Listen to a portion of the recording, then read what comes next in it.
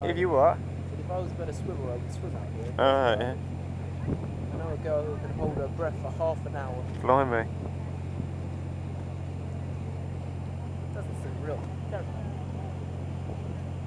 I'm totally lost where we actually left Poole Harbour now. If you ask me where Poole Harbour is, I've no idea.